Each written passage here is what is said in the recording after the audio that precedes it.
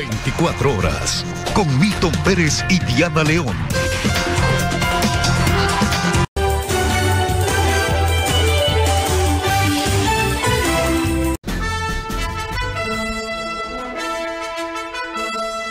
Desde el Centro de Noticias en Quito, esto es Televistazo al Amanecer